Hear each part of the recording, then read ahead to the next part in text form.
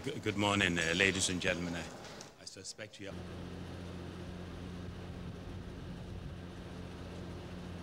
Council will have to determine how to proceed next. But I think if they do need time, they should be given the time to do their work.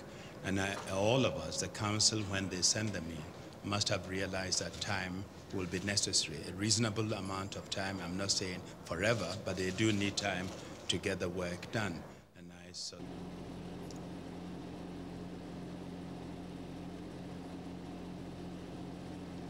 with the unanimous resolution. I, I hope, as I have said, that this unity uh, will be uh, maintained. Uh, we have, uh, in my own speech to the General Assembly on the 12th of September, I stress the need for multilateralism, the need for council action, the need for council legitimacy, and that position has not uh, changed. I really hope that uh, Iraq will comply and we will be able to get on and disarm Iraq peacefully. I have not given up on peace, and you shouldn't either. Thank you. Thank you very much. Time is running out, sir.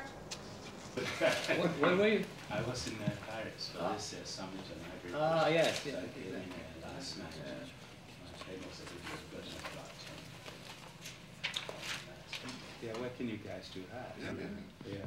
Uh, I said some nice things about you guys coming in this morning. They, they asked you something.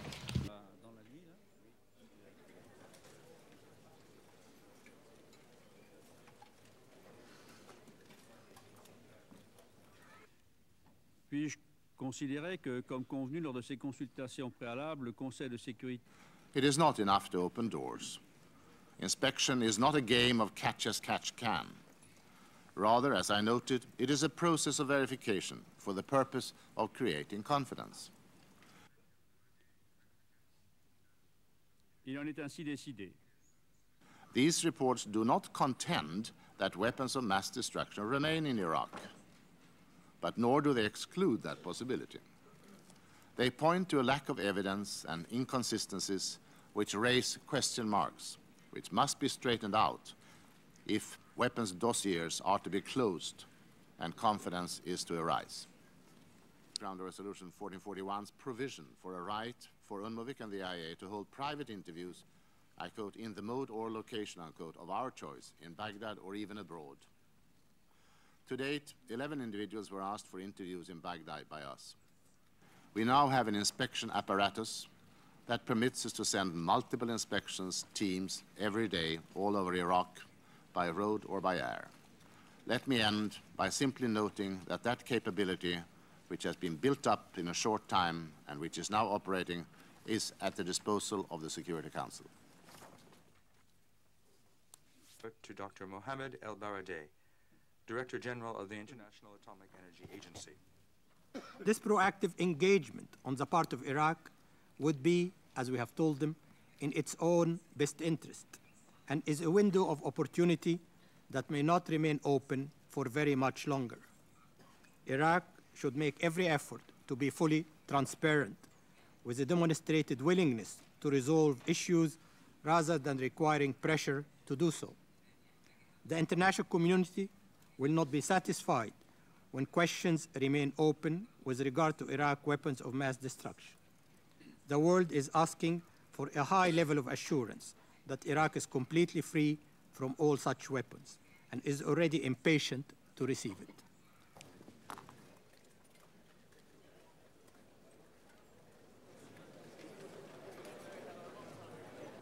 What we have seen over the past 80 days is that in spite of the urgency introduced in Resolution 1441, Iraq is back to business as usual.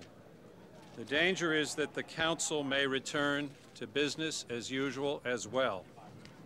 Indeed, most members of the Security Council, if not all members of the Security Council, regard this as part of an ongoing process. The German presidency has made it clear that it would like to have a further report from the inspectors on 14 February, and the UK would welcome that, uh, and uh, we wish to hear further how the inspectors are getting on. Can do to do that. Obviously, the non-aligned movement does not believe in war. In fact, the United Nations was founded as an organization of peace. What we would like to do is allow first the inspectors to do their work. We are cooperating in all ways with UNMOVIC and IAEA, and hopefully, I am sure that we will continue in that path that might uh, fini uh, finish with uh, the inspection as soon as possible. And the, the job has not been completed. We share the view of many that this process need to continue and more time is needed for the inspectors. And we trust that UNMOVIC and IEA, they will continue their homework impartially, objectively, and professionally. For example, well, I, I wouldn't even speculate about how long. I am convinced that they must continue. Otherwise, uh, we would have undermined the process uh, initiated by 1441 and so far very uh, successfully uh, continuing.